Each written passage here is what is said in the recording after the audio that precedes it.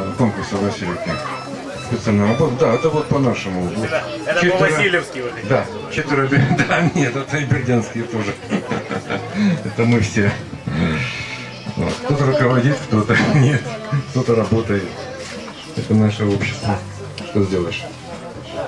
Ну вот, все. І де, і де у вас від гімназії? А?